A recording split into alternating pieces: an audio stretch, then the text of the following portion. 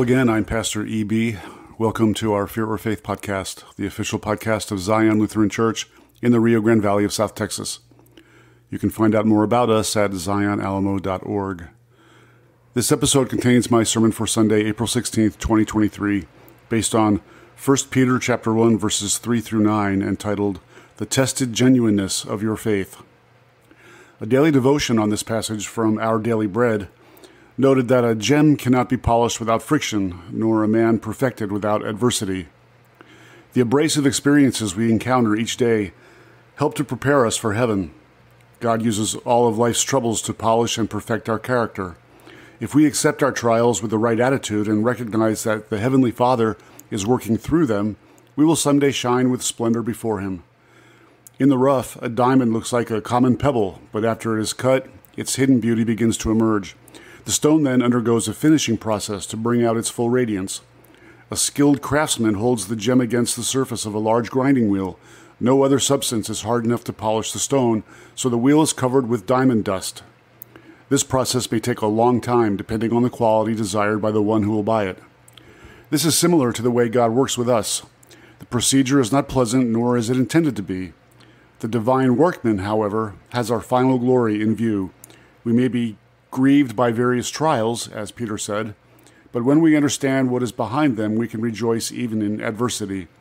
God has one goal in mind during the refining process that our faith may be found to praise, honor, and glory at the revelation of Jesus Christ. Knowing this enables us to look beyond the unpleasantness of polishing to see the outcome.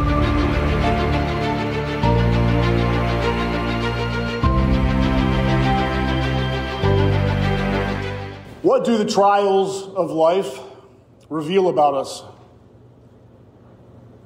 How do we respond? What do others see when they look at us in times of, of challenge, suffering, disappointment? How we respond to challenges, uncertainty, and crisis is a confession, more often than not a public confession, of our faith. Trials have an uncanny way of revealing what's inside a person. Consider the behavior of some passengers aboard the doomed luxury liner, the Titanic. As the great ship was sinking and the few lifeboats were being filled, the command on deck was women and children first. According to one survivor, most of the men and older boys obeyed the order, but some men, some men ran back to the ship's staterooms and changed into women's clothing in an effort to gain a seat on a lifeboat. The crisis, that crisis, brought out the worst in these men. What about us? How do we respond to the seemingly never ending struggles in this life, such as anger, grief, lust, physical limitations, illnesses, ridicule, rejection, harassment, oppression, family and job pressures, disappointments, deep hurts, money problems? Well, I could go on and on. The list is seemingly infinite. How a person in or out of church responds to the difficulties of this life is a reflection of character. In a Christian, it's a reflection of faith. But let's face it, life isn't easy. The Roman philosopher Lucius Annaeus Seneca the Younger, known more succinctly as simply Seneca, is an interesting character in the pagan world at the time of the apostles. In fact, the Apostle Paul is considered by many historians to have been a contemporary with whom Seneca is said to have corresponded and whom he likely met in person in Rome. Seneca, like Paul, withstood many trials and tribulations during his life, from chronic asthma to the death of his only son to the wrath of more than one Roman emperor. Seneca became a Roman senator during the reign of the Emperor Caligula, against whom he spoke out publicly. Caligula was so offended by Seneca that he ordered him to commit suicide. Seneca survived only because he was seriously ill, and Caligula was told that he would soon die anyway. In 41 AD, Seneca was exiled to the island of Corsica under Emperor Claudius, whose wife had accused him of adultery with Caligula's wife but was allowed to return in 49 AD to become a tutor and later an advisor to Nero, Yes, that Nero, the emperor who blamed Christians, who were then violently persecuted and, eh, persecuted and executed for the great fire that burned Rome in 64 AD. The following year, Seneca was accused of taking part in a plot to kill Nero.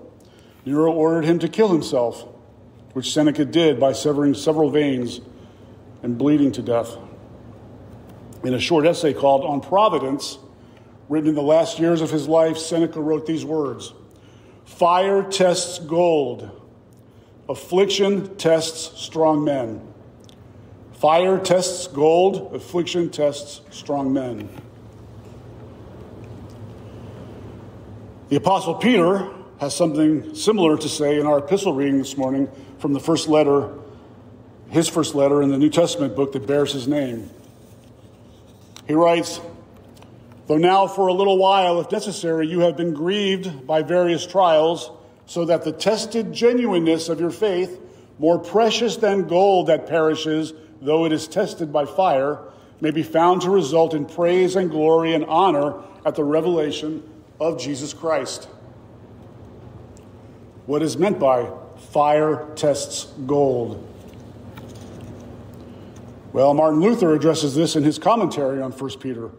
It is the purpose, Luther writes, the purpose of the cross and adversities of all kinds to enable one to differentiate between the false and the true faith. God afflicts us in this way in order that our faith may be proved and made manifest before the world with the result that others are attracted to the faith and we are praised and extolled. For God will praise, extol, and honor us as we praise Him. Then the false hypocrites who do not approach the cross and adversities in the proper way will necessarily be put to shame. All scripture compares temptation to fire. Thus, here, St. Peter also likens the gold that is tested by fire to the testing of faith by temptation and suffering. Fire does not impair the quality of gold, but it purifies it so that all alloy is removed. Thus, God has imposed the cross on all Christians to cleanse and to purge them well, in order that faith may remain pure, just as the Word is, so that one adheres to the Word alone and relies on nothing else. For we really need such purging and affliction every day because of the coarse old Adam. He goes on to say, Luther goes on to say, it is characteristic of a Christian life to improve constantly and become pure. When we come to faith through the preaching of the gospel, we become pious and begin to be pure. But as long as we are still in the flesh, we can never become completely pure. For this reason, God throws us right into the fire, that is, into suffering, disgrace, and misfortune. In this way, we are purged more and more until we die. No works can do this for us. How can an external work cleanse the heart inwardly? But when faith is tested in this way, all alloy and everything false must disappear. Then, when Christ is revealed, splendid honor, praise, and glory will follow. In the short book of 1 Peter, there are at least eight specific references to suffering. 1 Peter chapter 4 verse 12 warns of a fiery trial coming upon the community. Kind of makes you wonder, what were the first readers, his first intended readers of this letter experiencing to cause him to write those words? The first two verses that open chapter 1 of 1 Peter tell us that Peter's intended recipients of this letter are those who are elect exiles of the dispersion, diaspora, in Pontus, Galatia, Cappadocia, Asia, and Bithynia. The five Roman provinces mentioned span the northern half of Asia Minor, that is, the north part of Turkey today, and were areas in which Paul did not found churches. The word diaspora or dispersion is the word, as is the word elect, drawn from Jewish tradition. And so some commentators have concluded that the letter was addressed to Jewish Christians. More likely, however, Peter means to refer to all Christians who, like the exiled Jews, lived as strangers in their surrounding culture. It's thus closely linked with the word exile, as both point to Christians as people who share values other than those of the surrounding world, with the implication that, as a result, they will suffer for their nonconformity. I think we should hear that again. It's closely linked with the, world, with the word exile, as both point to Christians as people who share values other than those of the surrounding world. With the implication that as a result, they will suffer, they will suffer for their nonconformity. What does it mean to live in a potentially hostile world as true followers of Christ? I would even remove the word, the word potentially. It can be a hostile world. Tales of persecutions faced by early Christians raise the possibility that Peter is addressing some sort of imperial, as in Roman Empire, imperial persecution. Roman emperors could lash out at religious groups perceived as unruly. And Acts chapter 18 mentions an expulsion of Jews from Rome in 49 AD by Emperor Claudius because, according to the first century Roman historian uh, Suetonius, the Jews were indulging in constant riots. But during the lifetime of Peter, the only known persecution takes place at Rome after the Great Fire of 64 AD, for which Emperor Nero, Nero blamed the Christians. Church tradition places the death of Peter in this persecution that followed the Great Fire in 64 AD. However, most scholars rule out the persecution by Nero as the sole context for the, for the contents of 1 Peter. In the Greek and Roman world of the first century, Christian converts were noticed by their neighbors.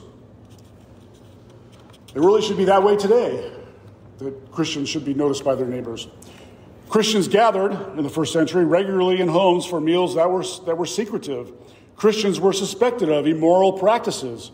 In addition, Christian converts no longer participated in the regular rituals and sacrifices of Roman public life.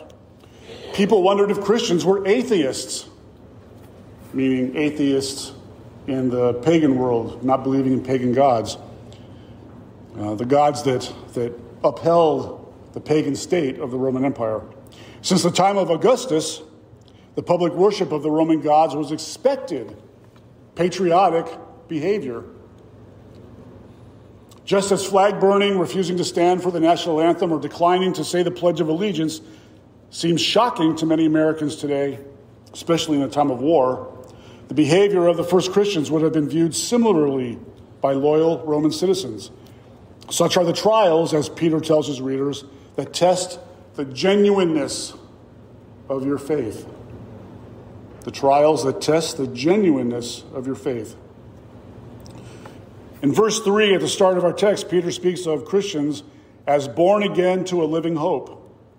And here Peter uses a rare phrase in Greek stressing a new begetting, begetting rather than a new birth. That's literally what the Greek, Greek translates to. Certainly, birth follows conception, but Peter's choice of language puts the emphasis on God's work in baptism rather than on the experience or participation of the Christian. A consequence of God's new begetting is hope.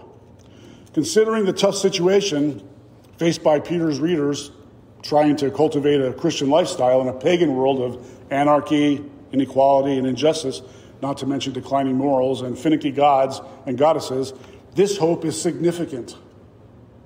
Hope is modified by the concept living.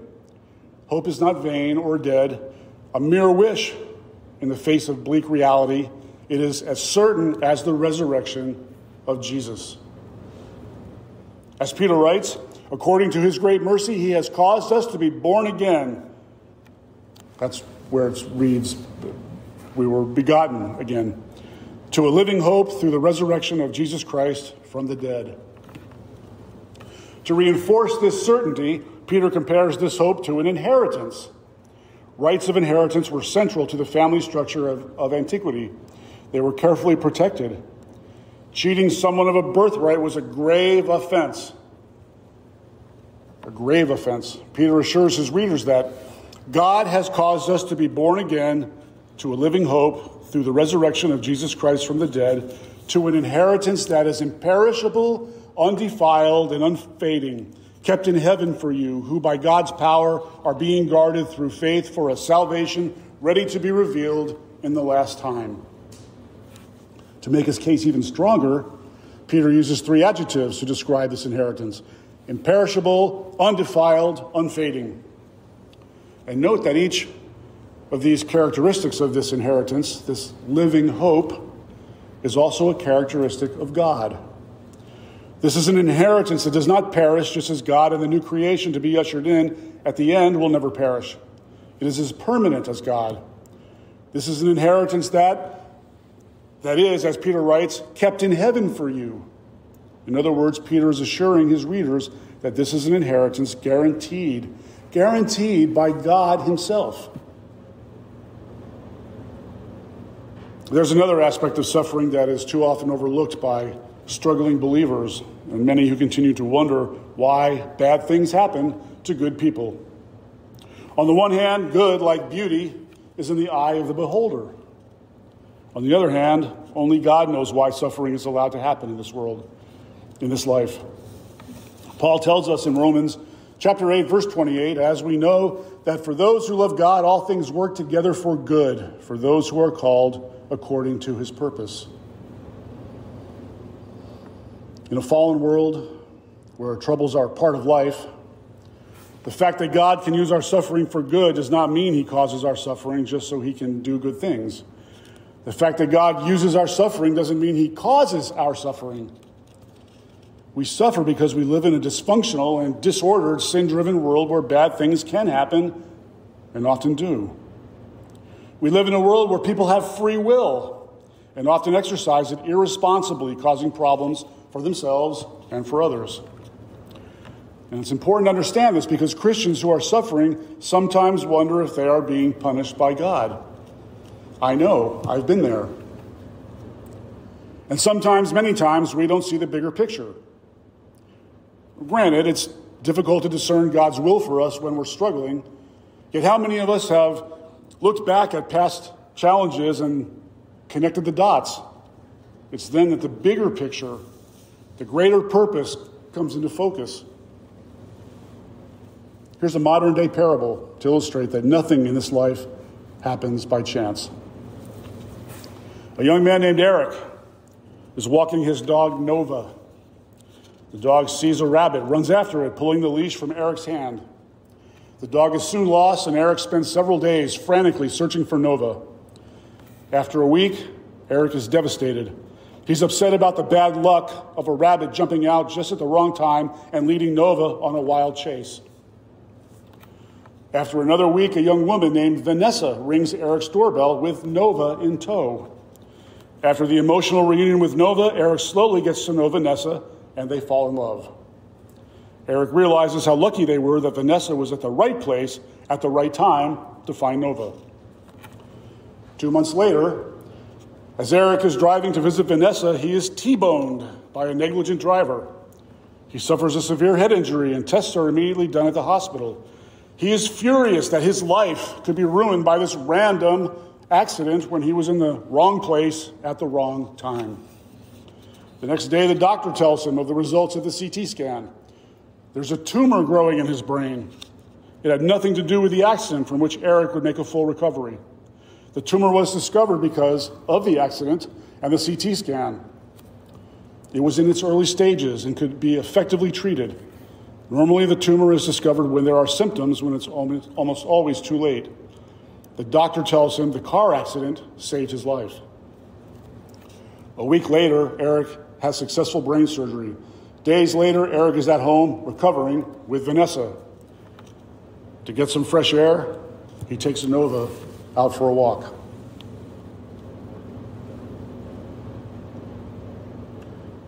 As Christian readers of Peter's first letter, nearly 2,000 years after the fact, his words are just as applicable to us as we face life's challenges. God has begotten us anew Ours is a living hope based on the resurrection. Ours is an inheritance with godlike characteristics guaranteed by God Himself. With this certainty, Peter's first readers could face hostility. With this certainty, we here in the 21st century can face the challenges that frighten us. Brothers and sisters, we too are grieved by the various trials so that the tested genuineness of our faith may be found to result in praise and glory and honor at the revelation of Jesus Christ. Though we have not seen him, we love him. Though we do not know, though we do not now see him, we believe in him and rejoice with joy that is inexpressible and filled with glory, obtaining the outcome of our faith, the salvation of our souls. We'll end here with Pastor Max Lucado's introduction to his commentary on 1 Peter. Max writes, It's not easy being the only one in your family who goes to church. It's bad enough that they don't go. It's worse that they make fun of you for going. If you would pad your expense account, so could the other salesman. But if you don't, they can't. Come on, they urge you, just a hedge, a little, but you refuse. The next day, someone has spilled paint on your car. Persecution, not by firing squad, not by death threats, not by the government, but it's persecution nonetheless. A more subtle persecution, persecution from friends, family, and peers. They won't take your life, but they will take your peace. And they'd like to take your faith if you let them. How do you respond? Begin with Peter's survival manual. He understood persecution beaten and jailed, threatened and punished. He knew the sting of the false word and the angry whip. No doubt he'd seen some Christians stand and others fall. He'd seen enough to know what it takes to stay strong in tough times. His counsel may surprise you. His counsel may sustain you. It may be just what you need so that the genuineness of your faith, being much more precious than gold that perishes, though it is tested by fire, may be found to praise, honor, and glory at the revelation of Jesus Christ. In his name, amen.